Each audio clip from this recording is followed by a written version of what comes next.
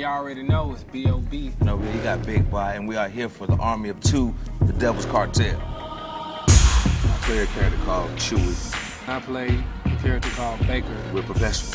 We're professionals hired, hired, trained, Killers. come in, get the job done. Man, what we did today, Boy.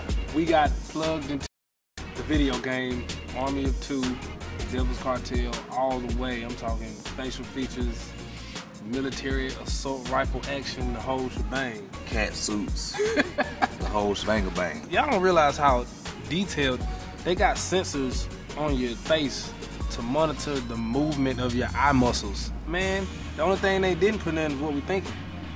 Exactly. And that might be in there. Boy. Video games and the music definitely go hand in hand.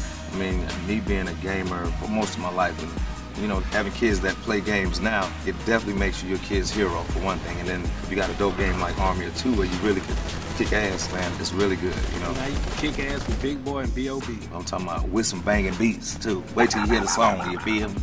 Never back down is the main message. Never back down, and you get the right team with Right. you. You can accomplish any feat and accomplish any goal and surmount any obstacle. Never be afraid to always accept the challenge head on.